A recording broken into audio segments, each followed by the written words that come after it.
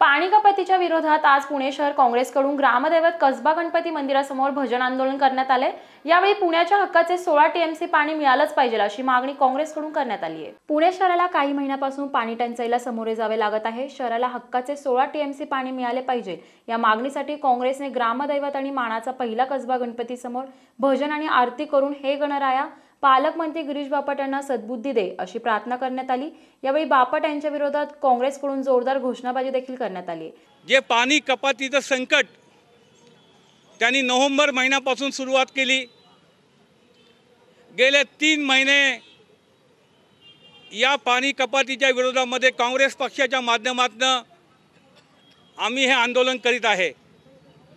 पुण्याचे महापौर सौभाग्यवती मुक्ताताई टिळक यांनी आम्ही यांना आम्ही पाण्याचा टँकर भेट देऊन त्यांना सांगितलं की ऐन दिवाळीच्या सणामध्ये तुम्ही पुणेकरांच्यावर हे संकट देऊ नका.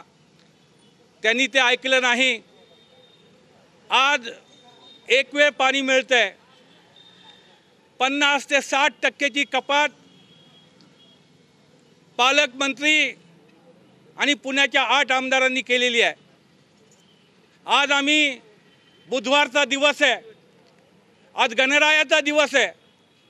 आणि या गणरायाचं आमचं पुण्याचं गामदैवत श्री कसबा गणपतीला सर्व पुणेकर या ठिकाणी सकाळपासून भजन करून या गणरायाला साकडं घातलेलं आहे की पालकमंत्री गिरीश बापट यांना सुबुद्धी दे. यांना सुबुद्धी दे. की आमचं पुण्याचं हक्काचं सोळा टी एम सी पाणी हे आम्हाला मिळालं पाहिजे. हे आम्हाला मिळालं पाहिजे.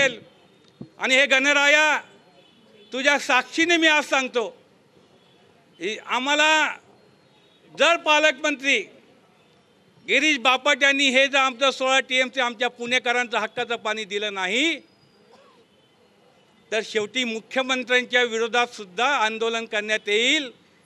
हे सुद्धा आज या पुण्याच्या गामदैवताच्या पायाशी बसून आम्ही सर्व पुणे शहरातील काँग्रेसचे कार्यकर्ते सर्व पुणेकर नागरिक ही आज या गणरायाला साखर घालत असताना.